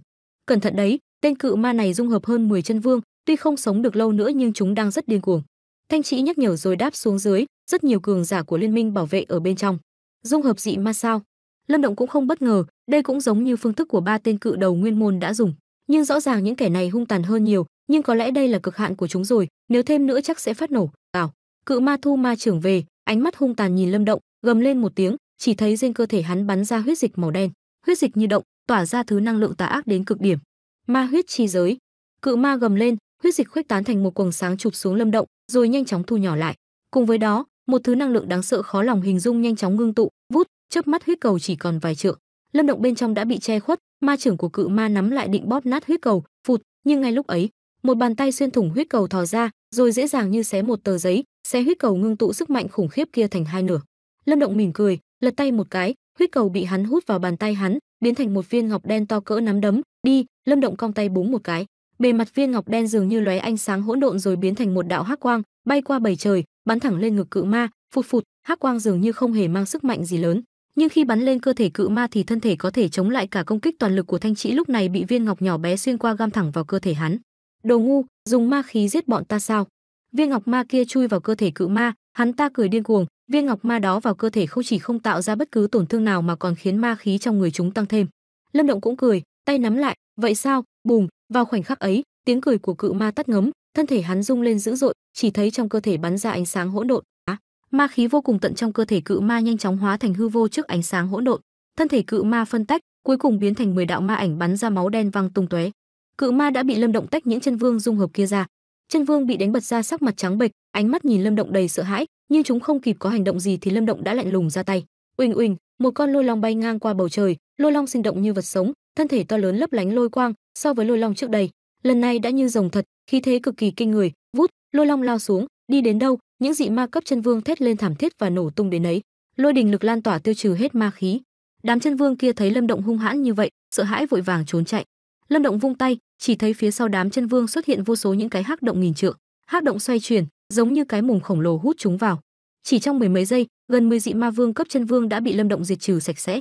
Cảnh tượng đó khiến vô số người phía dưới đều há hốc mồm sững sờ. Lâm Động giải quyết xong đám chân vương, ánh mắt lạnh lùng nhìn xuống chiến trường phía dưới. Đây là lần đầu tiên hắn thấy một trận chiến lớn như vậy. Chiến trường gần như bao phủ toàn bộ Bắc Huyền vực, toàn bộ không gian là sự đối đầu giữa ma khí và nguyên lực. Số lượng dị ma e là lên tới hàng mấy trăm vạn, nhưng số người trong đại quân liên minh cũng không thua kém, hơn nữa đại quân này không phải quân đội bình thường, mỗi người trong đó đều có thực lực không tồi. Lâm Động tâm thần khẽ động, bầu trời ngưng tụ lôi vân, tiếng sầm rền vang át hết mọi tiếng chém giết. Đây không phải nơi các ngươi nên đến. Lôi đình cuộn trào, Lâm Động đứng trên không trung, lạnh lùng nhìn đám dị ma, ánh mắt lóe hàn quang. Vì thế, tịnh hóa đi, có lẽ hồn còn về được nơi các ngươi nên ở. Uỳnh, trời đất rung chuyển, chỉ thấy lôi vân phình to, vô số đạo lôi đình mang sức mạnh khủng khiếp điên cuồng đánh xuống. Lôi đình đến đâu, đám dị ma thậm chí còn không kịp kêu lên tiếng nào đã bốc hơi hoàn toàn. Đột ngột bị công kích, dị ma đang khí thế đầy hung hãn cũng khựng lại, cuối cùng ánh mắt chúng cũng có chút sợ hãi, mất đi sự thống lĩnh của chân vương. Hiển nhiên chúng không còn uy phong như trước nữa, giết, mắt đường tâm lăng lóe hàn quang, lập tức nắm bắt thời cơ, hô lên một tiếng. Đại quân liên minh bùng nổ sát khí, nguyên lực ồ ạt trào dâng xung kích quân dị ma khiến chúng tan tác. Nhưng quả thật dị ma rất hung hãn, trong cục diện này chúng vẫn kháng cự ác liệt, gây nên thương vong không ít cho đại quân liên minh, máu tươi nhuốm đỏ cả mặt biển. Nhưng sự kháng cự ấy rõ ràng cũng không có tác dụng là bao, cuối cùng quân dị ma ngày một yếu dần, gào, dường như biết được thất bại là điều hiển nhiên. Từ trong đội quân dị ma đột nhiên có tiếng gầm thét, vô số dị ma lao xuống biển, rõ ràng là định tạm rút xuống đáy biển. Dị ma sức sống rất ngoan cường, chỉ cần chúng thoát được thì vẫn là rắc rối lớn. Đường Tâm Lăng chỉ cười khẩy, hô, Hải yêu quân, không tha cho bất cứ tên dị ma nào. Uỳnh, mặt biển đột nhiên nổi sóng, chỉ thấy mặt biển như tách ra, đội quân hải yêu cưỡi đủ loại hải thú từ dưới đáy biển lao lên, dường như có một trận pháp hình thành ở phía dưới đáy biển phong tỏa mọi lối thoát. Lâm Động ở trên không nhìn xuống đám dị ma bị vây khốn bốn phía, tay thả lỏng, giơ ngón cái về phía Đường Tâm Lăng. Nàng vẫn lợi hại như vậy, tất cả đều đã được sắp xếp kỹ càng, không cho dị ma bất cứ đường thoát nào. Trong vô vàn người Đường Tâm Lăng vẫn nhìn thấy động tác đó của Lâm Động, đôi môi hồn khẽ nhớn lên cười tự hào. Nàng không hề tránh né nhìn thẳng vào mắt Lâm Động đến khi hắn phải chuyển ánh mắt sang chỗ khác nàng mới cười. Lâm Động khẽ thở hắt ra một hơi, chỉ cần hoàn thành việc này là loạn ma hải sẽ được yên bình. Sau đó bình định yêu vực và Tây Huyền vực nữa rồi có lẽ đến trận quyết chiến cuối cùng với ma ngục. Bọn họ đang trong chừng cao tầng của ma ngục sao? Lâm Động nhìn về phía tứ huyền vực, lẩm bẩm. Lúc này, tại nơi giáp danh giữa Đông và Tây Huyền vực, trên đỉnh một ngọn núi, thân ảnh mỏng manh lạnh lùng đột nhiên mở mắt, nàng nhìn về hướng loạn ma hải, tay khẽ nắm lại. Huynh ấy, xuất quan rồi sao? Trong cuộc chiến ở loạn ma hải, cuối cùng đại quân của liên minh đã giành thắng lợi. Đương nhiên trong đó có nhờ sự tham chiến của Lâm Động, nhưng nhiều hơn đó là vì quân ma ngục không có bất cứ sự viện trợ nào. Đối mặt với một loạn ma hải đã đoàn kết chặt chẽ, đương nhiên chúng không có nhiều khả năng thắng. Nhưng dù vậy, sau trận chiến, liên minh loạn ma hải đã mất 5 ngày trời để hoàn toàn thanh trừ dị ma ở loạn ma hải. Chiến tranh kết thúc, những hải vực ma ngục chiếm đóng lúc trước đều thê thảm không nỡ nhìn. Ma khí thậm chí thẩm thấu cả xuống biển khiến bao sinh linh trong đó chết thảm, đủ mọi loại thi thể nổi lên chất thành đồng, mùi xú uế lan tỏa khắp không gian Nhìn thảm kích đó, đội quân liên minh ai cũng đỏ hoe mắt, đám dị ma đó quả thực quá tàn bạo, nếu không tiêu diệt chúng hoàn toàn e là thế gian này không bao giờ yên bình được. Nhưng rõ ràng là hiện giờ không có nhiều thời gian để làm sạch những hải vực bị nhiễm ma khí. Chiến tranh loạn ma hải vừa kết thúc thì đội quân liên minh đã được Đường Tâm Lăng chia làm hai, một nửa chi viện cho liên minh tứ huyền vực, một nửa chi viện liên minh yêu vực. Hiện nay, chỉ khi nhanh chóng dẹp bỏ dị ma ở ba khu vực này thì họ mới yên tâm quyết chiến trận cuối cùng với ma ngục. Sau khi suy nghĩ một lúc, Lâm Động dẫn một nửa số quân liên minh đến tứ huyền vực. Ở đó dù sao cũng gần Tây Huyền vực, tuy ứng hoan hoan bọn họ vẫn luôn luôn trông chừng ma ngục nhưng hắn vẫn phải càng nhanh càng tốt, tránh xảy ra bất trắc. Còn yêu vực, Đường Tâm Lăng dẫn một nửa đội quân còn lại chắc sẽ nghịch chuyển được cục diện, giải quyết sự hỗn loạn ở đó. Đường Tâm Lăng vô cùng tán thành sự sắp xếp của Lâm Động, vì thế sau khi cục diện loạn ma hải được ổn định, hai người cùng dẫn quân đến đi. Đông Huyền vực, Bình Nguyên Lạc Nhật. Đây là nơi tiếp giáp giữa Đông Huyền vực và Nam Huyền vực, cũng là nơi đóng quân của Liên minh Tứ Huyền vực. Ở trăm dặm phía đối diện Bình Nguyên chính là đội quân ma ngục đang hoành hành ở Tứ Huyền vực. Trên Bình Nguyên lúc này là quân đội Liên minh Tứ Huyền vực đang thao luyện, tiếng hô vang vọng cả không gian. Trên đài cao ở phía trước đội quân có một vài thân ảnh, đứng hàng đầu là một nữ tử mặc váy đen. dáng người nàng mảnh khảnh nhưng gương mặt tinh tế kia lại đầy sát ý, đôi mặt đen sâu thẳm chậm rãi quét nhìn Bình Nguyên rộng lớn. Thanh Đàn hiện nay không chỉ là điện chủ Hắc Ám Điện mà còn là minh chủ Liên minh Tứ Huyền vực. Có lẽ về tuổi tác nàng còn rất nhỏ, nhưng qua một năm huyết chiến với ma ngục, nàng đã dùng khả năng của mình chứng minh địa vị thống trị của mình. Vì thế, ánh mắt của mọi người trên bình nguyên nhìn nàng đầy kính sợ. Phía sau Thanh Đàn, Lang Thanh Trúc vẫn mặt bộ bạch y, khí chất lạnh lùng, gương mặt hoàn hảo không tì vết. Không biết vì sao nàng trở nên có linh khí hơn trước đây, hơn nữa mơ hồ còn có một thứ mùi vị thần bí, khiến người khác nhìn vào liền cảm thấy kính sợ. Hừm, Lang Thanh Trúc chăm chú nhìn Bình Nguyên, thân sắc đột nhiên thay đổi, ngoảnh lại nhìn chân trời phía xa. Ở đó đột nhiên có một luồng dao động không gian mạnh mẽ truyền tới, rồi hàng loạt thân ảnh lao tới như thiêu thân, khí tức khiến cả không gian như chấn động. Ngay khi biến cố xuất hiện, trong liên minh lập tức phát ra âm thanh cảnh báo, vô số thân ảnh lập tức bay lên, nguyên lực bùng nổ. Không cần hoảng hốt, là người từ liên minh loạn ma hải. Lang Thanh Trúc lên tiếng mới làm dịu lại không khí căng thẳng. Là liên quân của loạn ma hải sao? Lẽ nào họ giải quyết được dị ma ở loạn ma hải rồi? Thật lợi hại. Có họ tới thì chúng ta không sợ đám dị ma kia nữa. Lần này chắc chắn thanh trừ được chúng. Đúng thế, đại quân tứ huyền vực lập tức bùng nổ tiếng hoan hô, vô số người còn kích động vẫy tay về phía đại quân đang tới. Ủa, đó là Lâm Động Ca. Khi biết là đó là liên quân, tuy vẻ nghiêm trọng trên gương mặt tan bớt nhưng vẫn giữ khí thế của minh chủ liên minh. Nhưng khi liên quân tới gần, nàng nhìn thấy thân ảnh đi đầu, vẻ mặt mừng rỡ khiến cao tầng của liên minh tứ huyền vực kinh ngạc, đến khi nghe thấy tên Lâm Động họ mới chợt hiểu. Lang Thanh Trúc ở bên cạnh cũng khẽ gật đầu nhìn về hướng đó. Tuy gương mặt nàng vẫn lạnh lùng nhưng mọi người có thể nhận ra sự dịu dàng trong ánh mắt. Điều này khiến họ không khỏi lắc đầu cảm thán. Hai cô gái ở trong liên minh tứ huyền vực không biết có bao nhiêu nhân tài tuấn kiệt áo mộ, nhưng nay xem ra họ chẳng có hy vọng gì rồi, có một đối thủ yêu nghiệt thế kia thì còn ai có dũng khí cạnh tranh nữa. Liên quân nhanh chóng bay tới, cuối cùng đáp xuống bình nguyên, Lâm Động xuất hiện ngay trên đài cao. Lâm Động ca. Thanh đàn vui mừng lên tiếng, nàng như chim yến lao tới, Lâm Động vội vàng đưa tay đón, vòng tay ôm lấy vòng eo thon nhỏ, rồi cương chiều xoa đầu Thanh đàn, cười. Là minh chủ liên minh tứ huyền vực rồi mà cứ như trẻ con ấy. Thanh đàn hi hi cười, dáng vẻ ngây thơ này đâu có giống sự lạnh lùng trong liên minh, nhưng chỉ những người đã được chứng kiến thủ đoạn của nàng mới biết, đằng sau vẻ ngoài đó là một con người khiến người ta kính sợ. Lâm Động cười đùa với Thanh đàn một lúc rồi nhìn Lăng Thanh Trúc cười dịu dàng. Nàng thấy nụ cười ấy của hắn thì mặt hơi đỏ lên ngoảnh sang chỗ khác. Tình hình bên này thế nào rồi? Lâm Động hỏi. Liên minh tứ huyền vực bọn muội vẫn đang giằng co với quân đội của Ma Ngục, nhưng huynh cũng biết, luận về thực lực, có lẽ liên minh tứ huyền vực là yếu nhất trong tam đại liên minh, vì thế vẫn chưa có được ưu thế gì mấy. Thanh đàn nói. Lâm Động cũng không thấy bất ngờ, trong tứ huyền vực, Tây huyền vực đã hoàn toàn rơi vào tay Ma Ngục, thực lực này so với liên quân loạn ma hải và yêu vực đúng là kém hơn một chút. Thanh đàn bọn họ vẫn giữ ngang ngửa được như vậy là rất tốt rồi. Không sao, lần này ta đưa một nửa lực lượng của liên quân loạn ma hải đến, có lẽ trừ bỏ được đội quân này của ma ngục. Lâm Động cười. Thanh đàn gật đầu, có thêm sức mạnh này thì cục diện sau này chắc chắn sẽ đảo ngược. Lâm Động kéo Thanh đàn tới gần Lăng Thanh Trúc, hắn nhìn nàng đột nhiên khựng người, rõ ràng cảm nhận được Lăng Thanh Trúc có chút kỳ lạ. Điều khiến hắn ngạc nhiên nhất là hắn không biết rốt cuộc Lăng Thanh Trúc thuộc tầng thứ nào. Không cần cảm ứng nữa, ta cho nguyên lực tản đi hết rồi. Cảm nhận được ánh mắt Lâm Động, Lăng Thanh Trúc mỉm cười, tản đi. Lâm Động giật mình, kinh hãi nói, sao nàng làm được? Vậy giờ nàng? Nói đến đây hắn ngừng lại, tuy hắn không cảm nhận được nguyên lực trên người Lăng Thanh Trúc nhưng mơ hồ có cảm giác quen thuộc. Lăng Thanh Trúc đưa tay ra, chỉ thấy trên bàn tay nàng có ánh sáng hỗn độn ngưng tụ, một thứ sức mạnh thần bí mà mạnh mẽ tỏa ra. Đây là Thái thượng chi lực. Lâm Động trần kinh, đây lại là sức mạnh có được khi cảm ứng Thái thượng. Ừm, ta đã đổi đường khác, không tu luyện nguyên lực nữa, tĩnh tâm cảm ngộ Thái thượng, thu thứ năng lượng ấy vào cơ thể. Lăng Thanh Trúc khẽ gật đầu. Giờ ta không rõ mình thuộc tầng thứ nào nữa, nhưng dường như mạnh hơn trước nhiều rồi. Lúc này Lâm Động cũng không kìm được hít vào một hơi khí lạnh. Thế nào gọi là đổi đường khác? Trên thế gian này ngoài tu luyện nguyên lực và tinh thần lực ra vẫn còn đường khác sao? Hắn biết con đường Lăng Thanh Trúc nói có lẽ là thu nạp thái thượng lực, nhưng trên thế gian có được mấy người cảm ứng được thái thượng. Hơn nữa dù có cảm ứng được cũng sao có thể hấp nạp thái thượng lực vào cơ thể, điều này có lẽ Lâm Động cũng không thể. Hơn nữa Lăng Thanh Trúc cũng quá liều lĩnh, lượng lớn nguyên lực khó khăn tu luyện được nói cho tản đi là tản, đúng là còn dứt khoát hơn cả hắn phá hủy Nê Hoàn cung. Không có sức mạnh khác mới giữ được trái tim cảm ứng thuần tịnh, như vậy cũng rất tốt. Lăng Thanh Trúc khẽ nói, gương mặt tuyệt mỹ của nàng lúc này dường như có vẻ của tiên nữ, khí chất của nàng vốn lạnh lùng, cộng với cảm giác kia giống như tiên nữ hạ phàm vậy. Lâm Động gãi mũi, hắn tưởng mình đã rất biến thái rồi, không ngờ Lăng Thanh Trúc còn biến thái hơn. Việc này hắn chưa từng nghĩ đến, xem ra về phương diện thái thượng hiển nhiên là Lăng Thanh Trúc có thiên phú hơn hắn. Đội quân liên minh loạn ma hải cứ giao cho ta và Thanh Đàn đi, bọn ta sẽ giải quyết đội quân dị ma, giờ ta kiến nghị ngươi đi thăm muội ấy. Lăng Thanh Trúc khẽ chạm vào một lọn tóc, nhìn Lâm Động nói, muội ấy, Lâm Động khựng người rồi chợt hiểu. Hoan Hoan, nàng ấy sao rồi? Ngươi cứ đi thăm đi, có lẽ ngươi cảm ứng được vị trí của họ. Lăng Thanh Trúc khẽ lắc đầu. Lâm Động thấy thế, trong lòng dâng lên sự bất an, hắn gật đầu, không nói gì thêm, ngân quang tỏa ra rồi biến mất. Lăng Thanh Trúc nhìn hắn biến mất cũng khẽ thở dài. Cảm ơn các bạn đã xem và ủng hộ cho kênh Ngọc Hưng Review truyện tranh thuyết minh của em nha. Và nếu các bạn thấy hay thì hãy like và để lại bình luận để em có thêm động lực ra nhanh tập tiếp theo nhé.